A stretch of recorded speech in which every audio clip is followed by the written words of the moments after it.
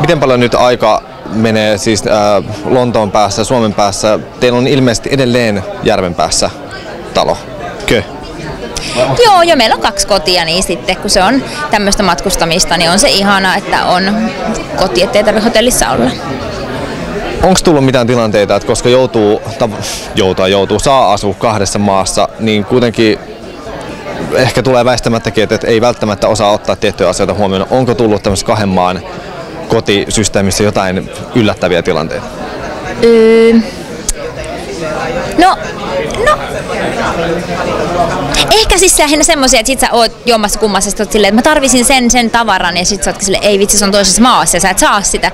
Mutta onneksi aika usein tuommoiset voi jotenkin ratkaista, mutta jotain tämmöisiä tiettyjä esiintymisasuja mä olisin saattanut tarvita täällä, en onkin ollut Lontoossa tai näin, mutta aika hyvin ne on kuitenkin mennyt. On se siis, onhan se rankkaa ja varsinkin se Lontoon pää opetteleminen, että miten siellä hoidetaan kaikki mahdolliset sähköt ja internettilaskut ja kaikki, niin onhan ne ollut säätöä, mutta kyllä se nyt on oppinut vähitellen.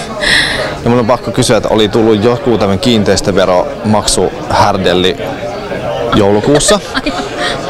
Öö, joku tämmöinen niin ulosotto juttu, että se oli kuin 110 euroa tai jotain. Mm. Onko nämä niitä asioita, mitä ei nimenomaan tiedä, koska ne postit ei välttämättä kulje edes? Kyllä, nimenomaan. Hyvä kun muistutit. Se on itse asiassa varmaan meidän suurin haaste, että kun on siirtänyt postin Lontooseen ja sitten onkin ehkä Suomessa ja sitten meneekin sinne joku, just joku lasku ja sitten sä et ole siellä vaikka muutamaan viikkoon. Tai sitten posti on myös vähän ollut ehkä vähän haastava, että sitten me ollaan peruttu yhdessä vaiheessa se siirto, mutta sitten he on silti siirtänyt edelleen, että me ollaan sitten monta kertaa että älkää siirtäkö sitä postiin Lontooseen, kun me tarvitaan osa postissa myös niin tänne Suomeen. Suomi on nyt ehkä helpompi kuin Suomen laskut, että tulee Suomeen näin. Että on tämä ollut haastavaa. Ollaan soiteltu laskujen perään, että mis, mitä voin maksaa minnekin. Ah,